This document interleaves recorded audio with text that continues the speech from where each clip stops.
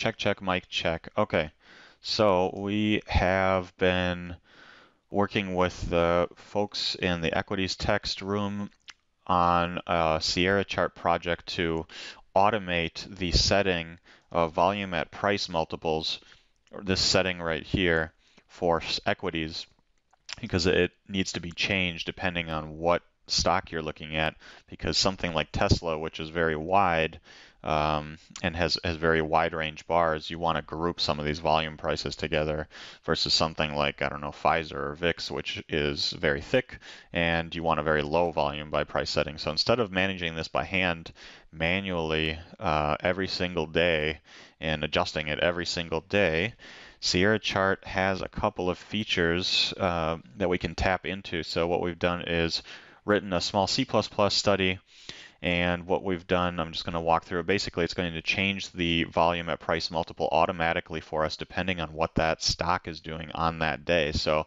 if, for example, AMD is having a very wide range day, it'll go ahead and bump that up manually and or automatically. And if it's having a very low range day, then it will go ahead and adjust it. So just to walk you through the code base here, um, the, the real meat of it is this section here is preventing us from rerunning this on every single uh, tick that comes through. We only want to run it at the beginning of a bar. Um, we want to go ahead and loop through the last 10 bars here and grab and calculate the high minus the low, in other words, the true range of that bar.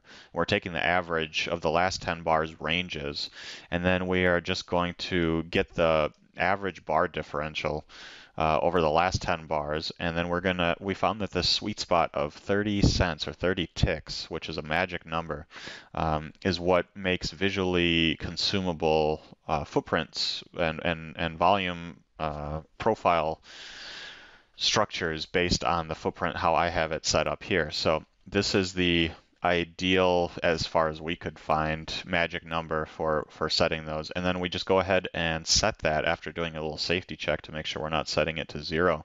And then we can tap into that setting that we have here in the uh, chart settings, this volume at price multiple right here, we can tap into that by using this sc.volume at price multiplier, and then we just set that and it goes ahead uh, and sets that. So watching it in action, we have something like AMD, which has a setting of three automated right now. Oh, I should show actually how to add this in Sierra.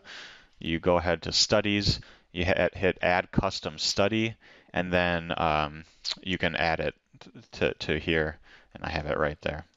So we will uh, show AMD there, and then let's look at something like Tesla, which is a lot wider range than AMD, and it has automatically updated it to 21 for us. And it was just 22 just a, a few minutes ago, so it is updating uh, on every new bar. It's taking the last 10 bars and looking at how, what the range was of each one and dividing it by uh, 10 after summing them all up and then looking at that magic number and then setting that chart setting. And then let's look at something thick like VIX.